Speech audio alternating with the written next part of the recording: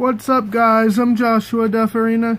And when you guys ask me and say this to me, the Madagascar you said was an unpleasant film. What kind of clash do you have, Joshua Dufurrena?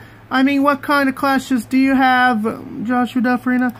And I'll be like, it was only the third one. The third one, no, the first two were fine. The third one had nothing to do with the Madagascar characters.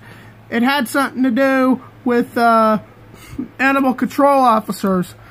You know what, Alex? Good job confronting that animal control officer lady at the end of Madagascar 3. And good job, Alex, for saying, Your days of chasing animals are over, DuBois.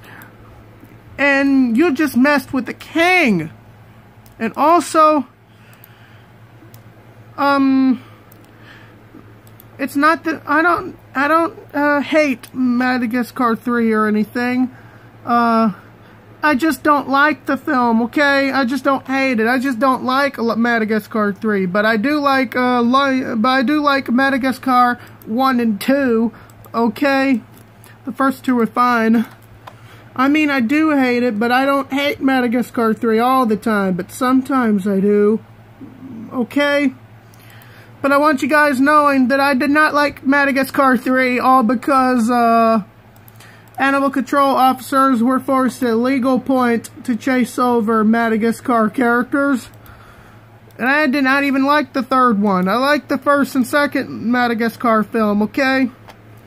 So anyways, I'm out. Bye.